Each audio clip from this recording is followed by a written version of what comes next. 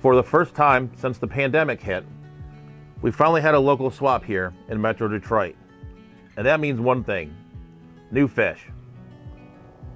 And also, a few weeks before, a fan of the channel had reached out and offered to give me some new fish since he was changing his setup. So let's head into the barn and take a look at these new fish.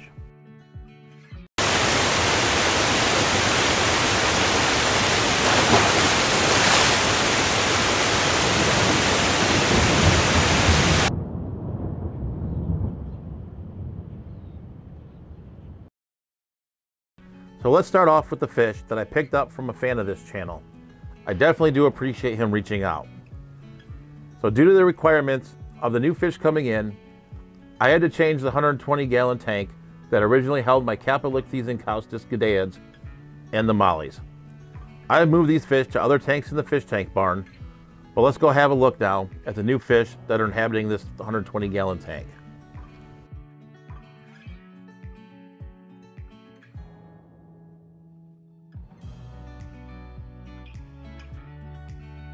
I was really excited to get these Geophagus winemilleri, which I do think are some of the most beautiful Geophagus that you can get in the hobby. The original owner had received these from Dan's Fish as small juveniles, and they've grown up quite nicely. These fish are found in southern Venezuela in the wild and have the same care requirements as your typical Geophagus species, enjoying a sandy substrate and tropical temperatures. So along with the Geophagus, we do have this electric blue acara, which is really an amazing specimen. I really do enjoy the blue color of this fish, which really does make it stand out. This fish is also extremely peaceful and is a great fish for your community tank. In the wild, this fish will hail from South and Central America where it inhabits slow-moving lakes and rivers. This is another fish that I'm really excited to have here in the fish barn. So next up are these Panda Garra. These fish are known to be algae eaters, but will also consume a wide variety of other foods. These fish inhabit slower moving streams in Southeast Asia. Along with having some in the 120 gallon tank here, I do have some other specimens in various tanks throughout the fish tank barn. If you've been watching some of the fish room tours and new fish reveals lately, you'll know that I've been kind of getting excited about bottom dwellers.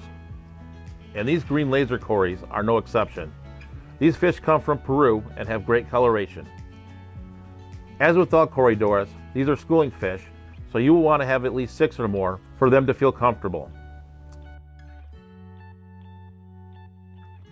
So the last fish I want to feature here in the 120 gallon tank are these Bolivian rams, which are native to Bolivia and Brazil. Like the electric blue acara, this is a peaceful species and can be kept with a wide variety of different tank mates. And unlike its cousin, the German blue ram, this fish prefers your normal aquarium temperatures. You may have noticed that there are a few other fish that you may have seen in past fish room tours. So the Apistogramma cacatuoides, cardinal tetras, and angelfish made the move to the 120 gallon from a different 75 gallon tank, which is being changed as part of a project that we'll detail in a future video. So along with these fish, he did give me a plethora of plants, which came with a bunch of shrimp as well. So I'm definitely very appreciative of this generous gift. So now talking about the swap, I definitely did pick up quite a few live bears.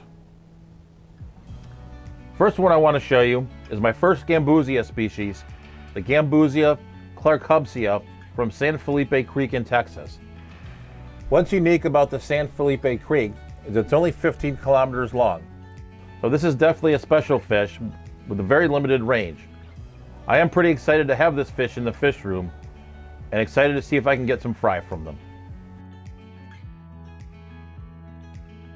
I was also really excited to get these black plume-tail platies. While they do look like normal black platies, if you look closely at their tail, they have a cool plume-tail extension in the middle of the tail. These fish do have the same care requirements as your typical platy and are currently living in this 29 gallon tank with a group of guppies. I'm definitely pretty glad to be able to find these fish since plume tails are generally pretty uncommon here in the United States. I'm really excited to see some fry from these fish and see how the plume tails develop. So definitely a fish to keep an eye on in the future. I've also picked up a couple different Goodeid species. The first one here is the Black Prince Goodeid, or Characodon audax, from El Toboso in Mexico. Like all Goodeids, these fish prefer cooler water and will actually start to fall apart if they get too warm for too long of a period of time. One thing I really do enjoy about this species is the black finnage on the male, which makes it a really stunning fish. Like most Goodeids, this species is endangered in the wild, primarily due to destruction of its habitat. So I'm definitely happy to have this fish in my collection and definitely looking forward to getting some fry, even though this species is known to be predatory towards its fry. So definitely a fish I'm pretty excited about. I also picked up the Skiffia francesae, or golden Skiffia. I've had this fish before, but unfortunately sold too many of them and didn't leave myself a large enough colony that eventually it died out. I am happy to have these back in the fish room. These fish are from the Rio Teuchitlan in Mexico and are extinct in the wild. Luckily, the hobby has maintained these fish so we can still have them around. I'm definitely looking forward to breeding these fish and getting some fry back in the fish room. The last live bear that I did pick up were these white albino guppies. It's been a while since I've added some guppies to the fish room, so it was about time that I got some more. One of the things that did draw me to this particular strain of guppies was this really nice coloration, especially on the tails. I have them here in this 20 gallon tank with a group of Variatus platies and really looking forward to getting some guppy fry.